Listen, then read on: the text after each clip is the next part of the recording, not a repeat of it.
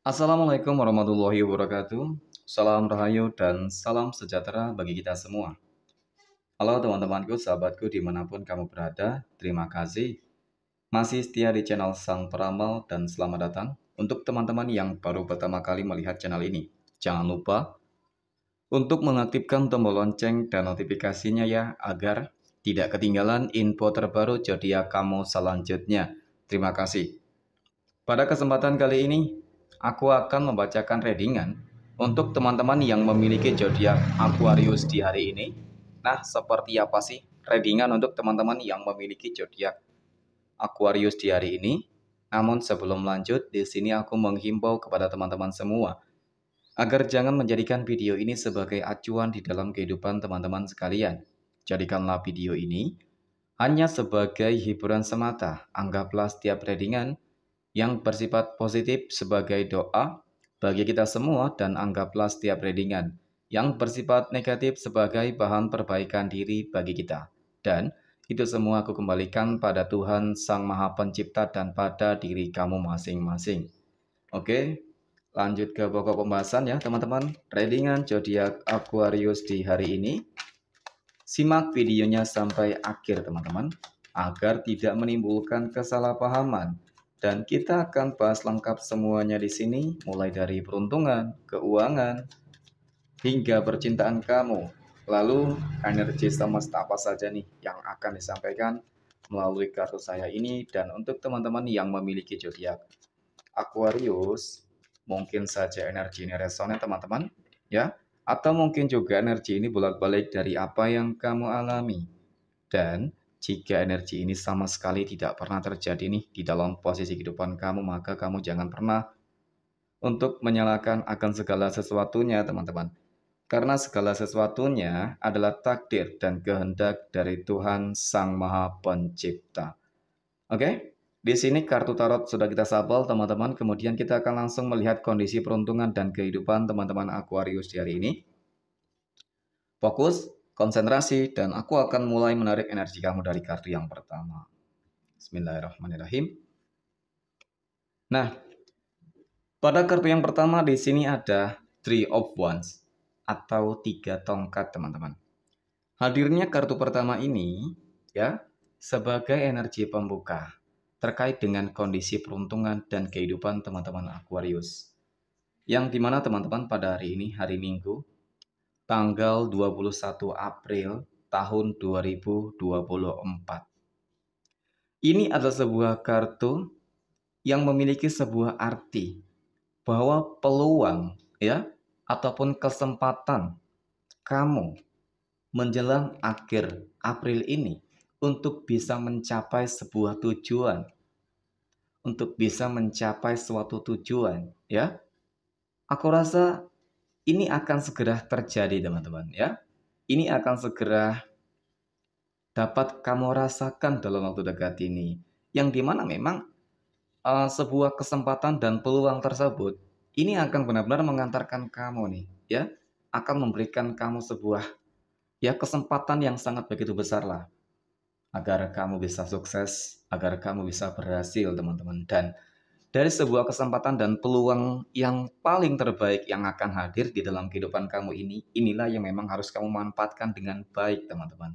Ya, yang mungkin saja peluang ini, ya, ini mengenai tentang sebuah uh, mungkin kamu akan mendapatkan pekerjaan yang baru, ya, bagi teman-teman Aquarius yang selama ini tentunya masih mengalami, ya, kendala terkait dengan mungkin mencari pekerjaan teman-teman ataupun terkait dengan kondisi kehidupan kamu yang lain nih. Oke. Kemudian pada kartu yang kedua di sini ada Four of Swords ya ataupun empat pedang teman-teman. Nah, hadirnya kartu kedua ini aku akui teman-teman ya bahwa memang ini adalah sebuah kartu yang menunjukkan tentang kondisi kehidupan kamu ya mungkin ini adalah sebuah historis kehidupan kamu selama ini ya yang di mana cukup terlihat teman-teman dan sangat terlihat secara visualisasi aku melihat memang begitu banyak sekali masalah dan hal-hal yang tidak baik dan bahkan bisa aku katakan ini adalah sebuah situasi kondisi terkritis yang belum pernah kamu rasakan teman-teman ya setelah Idul Fitri kemarin Dan di fase ini memang ya aku melihat antara thinking dan batin kamu sangat bergejolak nih ya, tidak sinkron. Sehingga di sini ya cukup terlihat banyak sekali sebuah kegagalan ya, kemudian hal-hal yang tidak baik yang sedang kamu rasakan teman-teman. Oke, kemudian pada kartu yang ketiga, di sini ada Ace of Swords. Nah, untuk teman-teman yang memiliki zodiak Aquarius, ya sekali lagi, untuk kamu, jika benar-benar energi kartu pertama ini menerangkan tentang sebuah kesempatan dan peluang bagi kamu untuk bisa sukses, untuk bisa berhasil, ya.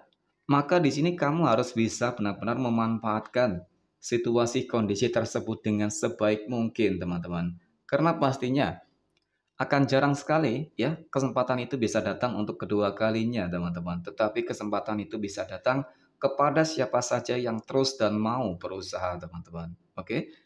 Nah, dari situlah kamu akan keluar dari semua kesulitan dan akan menjawab semua masalah masalah kehidupan kamu. Walaupun di sini kamu harus berjuang sendiri teman-teman, ya. Tidak ada orang yang mau membantu dan menolong kamu tetapi di sini kamu harus bisa menunjukkan bahwa kamu bisa bangkit. Kamu bisa berhasil, kamu bisa sukses. Karena di sini ada Ace of Swords. Ini adalah sebuah kartu yang di mana sebenarnya kamu memiliki sebuah kekuatan yang sangat hebat. Kekuatan yang sangat begitu besar untuk bisa mengalahkan semua tantangan kehidupan apa pun, teman-teman, ya. Dan pastinya dengan kamu bisa mengalahkan semua tantangan dan masalah terbesar apa pun, yang terjadi di dalam kehidupan kamu, maka potensi dan peluang kamu untuk bisa berhasil dan sukses ya dalam waktu dekat ini sangat terbuka lebar. Oke. Kemudian kita akan melihat kondisi keuangan teman-teman Aquarius di hari ini dan pada kartu yang pertama di sini ada The World. Nah, ini adalah sebuah kartu yang sangat istimewa sih menurut aku teman-teman ya. Mengapa aku katakan demikian? Karena ya sebagai energi pembuka ya tentunya di fase ini teman-teman ya akan ada hal-hal besar yang bakal segera kamu alami akan segera kamu capai akan segera kamu dapatkan teman-teman apa itu ya tentunya sesuatu hal yang selama ini kamu kejar yang selama ini kamu harapkan teman-teman ya dan dari situlah yang akan mendatangkan adanya sebuah kondisi keuangan yang akan sangat berlimpah. Sehingga ini yang aku maksud bahwa ini adalah sebuah kartu yang sangat istimewa. Oke. Kemudian pada kartu yang kedua, di sini ada Three of Cups. Wow. Atau tiga cangkir. Nah, dengan hadirnya kartu kedua ini semakin meyakinkan aku nih teman-teman. Ya, tentang sebuah perubahan besar bahkan yang bakal segera terjadi, yang bakal segera kamu alami, teman-teman, ya. Nah, Three of Cups ini adalah sebuah kartu yang menggambarkan tentang pencapaian bersama, kesuksesan bersama, tentang sebuah keselarasan energi, teman-teman. Oke, ya di fase ini semua bentuk kerjasama yang kamu lakukan dengan siapa pun, mungkin dengan pasangan kamu, ya, dengan sahabat kamu, ataupun dengan yang lain nih. Semuanya tidak akan mengkhianati sebuah hasil akhir yang akan kamu dapatkan dan sebuah pencapaian besar, kesuksesan bersama ini akan benar-benar dapat kamu manifestasikan dengan baik teman-teman sehingga dari sini juga yang akan menghadirkan adanya sebuah kondisi keuangan kamu yang akan terus meningkat dan meroket pastinya. Oke. Kemudian pada kartu yang ketiga, di sini ada Ten of Swords atau 10 pedang teman-teman. Nah, hadirnya kartu ketiga ini ya. Memang aku akui ini ya.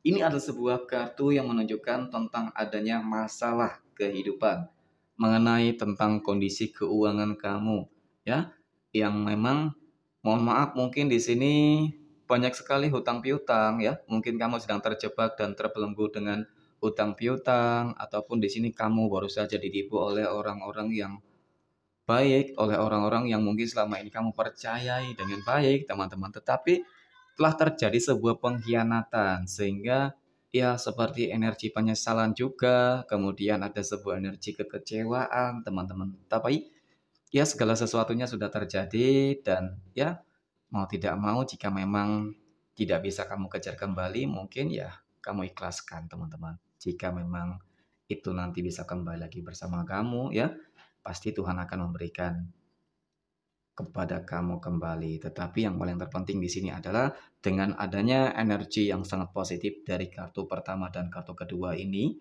ya. Sehingga aku memprediksi semua masalah-masalah kehidupan kamu selama ini, teman-teman, ya ataupun di pekan lalu ini mengenai tentang kondisi keuangan, utang piutang, ya, ataupun sebuah manipulatif yang dilakukan oleh orang lain terhadap kehidupan kamu, semuanya pasti akan segera usai dan tuntas tentunya, oke? Okay?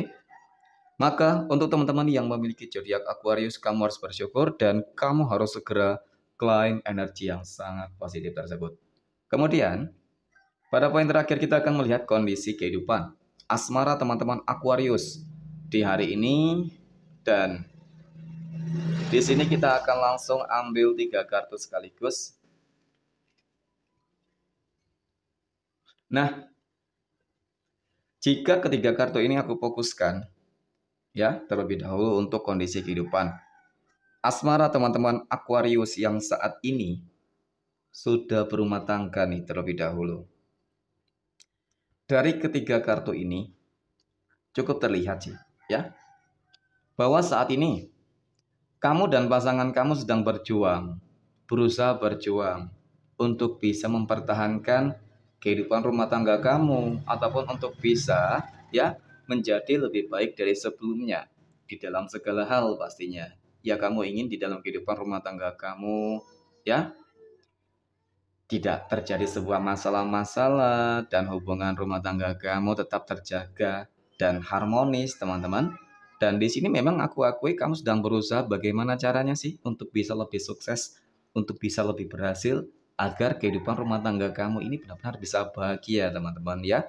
Mengingat mungkin itu adalah salah satu tujuan kehidupan kamu bersama pasangan kamu dan aku yakin apa yang kamu lakukan ini pasti akan menunjukkan sebuah hasil yang positif, teman-teman. Mengapa aku katakan demikian?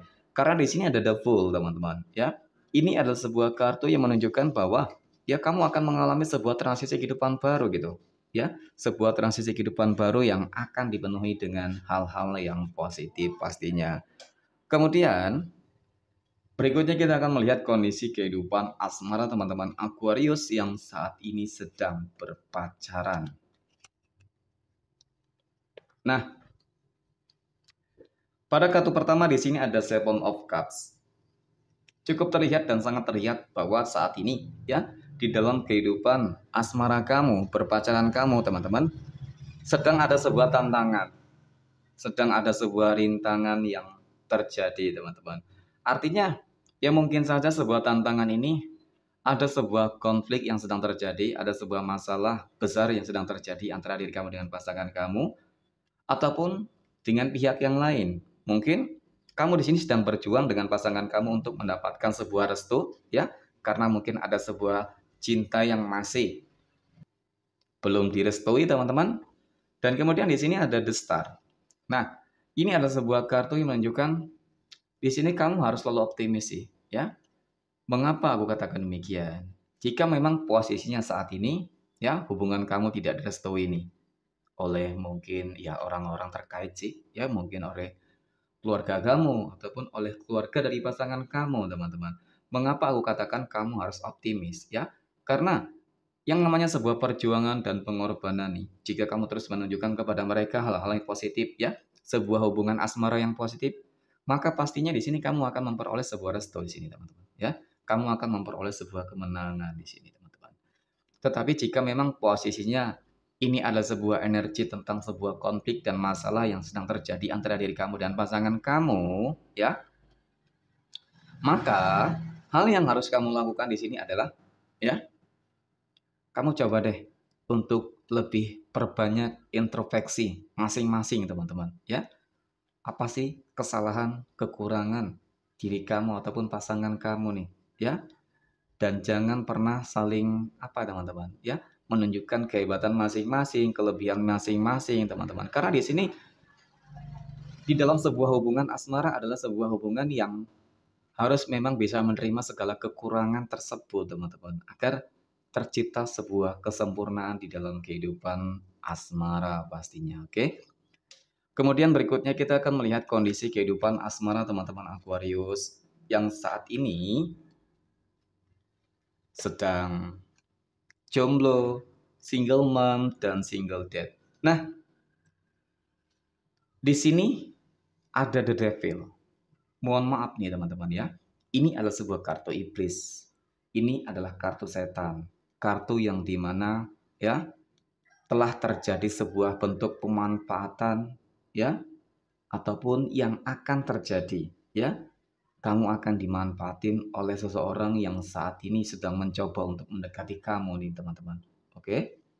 Nah jika memang posisinya kamu pernah dimanfaatin ya maka di sini kamu harus bisa lebih apa ya teman-teman? Kamu harus bisa lebih membuka mata kamu lah ya kamu harus bisa membedakan mana orang-orang yang benar-benar tulus kepada diri kamu dan mana orang-orang yang benar yang hanya ingin sekedar memanfaatkan kamu teman-teman. Orang-orang yang modus nih teman-teman.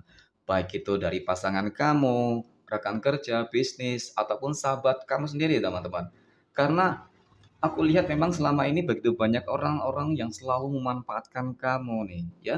Dan pada akhirnya apa ya? Kamu yang selalu saja merasakan adanya sebuah kekecewaan. Nah the next kamu harus bisa menjadi yang terbaik oke okay? kamu harus bisa lebih bijak dan kemudian jangan terus-terus kamu mau dimanfaatin teman-teman oke okay? kemudian yang terakhir kita akan melihat kondisi kehidupan asmara teman-teman Aquarius yang saat ini sedang PDKT ataupun saat ini sedang dekat dengan seseorang. Nah, dari ketiga kartu ini teman-teman, ya, ketiga-tiganya memiliki sebuah energi dan pergerakan yang bisa aku katakan sangat positif sih, ya. Mengapa aku katakan demikian? Karena di sini ada Three of Pentacle. Ini adalah sebuah kartu yang menggambarkan, ya, mungkin uh, sebuah kedekatan kamu dengan dia, ya, ini adalah salah satu bentuk manifestasi dari doa-doa kamu yang dikabulkan oleh Tuhan, teman-teman. Kamu ingin mendapatkan seseorang yang baik. Kamu ingin mendapatkan seseorang yang mapan. Kamu ingin mendapatkan seseorang yang berkomitmen. Nah, aku rasa ini cukup dimiliki oleh dia. Seseorang yang saat ini sedang dekat dengan kamu, teman-teman. Dan bahkan di fase ini, Aku melihatnya kamu akan mendapatkan yang lebih dari apa yang kamu harapkan, apa yang kamu minta selama ini kepada Tuhan kamu masing-masing. Yang di mana ya dia adalah seseorang yang bisa aku katakan cukup berkomitmen, dia juga uh, berkecukupan sih secara mungkin kondisi kehidupan sosialnya dan pekerjaannya teman-teman. Sehingga untuk teman-teman yang memiliki zodiak Aquarius ya tidak ada salahnya kamu untuk mulai membuka hati kamu untuk dia teman-teman. Dan ya, semoga ini adalah sebuah awal yang baik bagi kamu untuk ke depannya. Oke, kemudian yang terakhir, kita akan melihat 12 tanggal lahir yang akan mendapatkan keberuntungan dari teman-teman Aquarius di hari ini. Lalu 12 tanggal lahir berapa saja nih yang akan keluar pada kesempatan kali ini teman-teman. Dan yang pertama di sini ada tanggal 31. Oke. Kemudian yang kedua ada tanggal 2. Oke, sesuai angka ya. Kemudian di sini ada tanggal 27. Kemudian ada tanggal 4. Kemudian ada tanggal 5. Next ada tanggal 8, kemudian ada tanggal 25, kemudian tanggal 29, tanggal 13, kemudian tanggal 26, tanggal 24 dan yang terakhir ada tanggal 11. Maka kurasa inilah readingan untuk teman-teman yang memiliki zodiak Aquarius di hari ini. Jangan lupa untuk selalu tetap bersemangat dan selalu bersyukur. Sekian dari saya, salam rahayu dan assalamualaikum warahmatullahi wabarakatuh.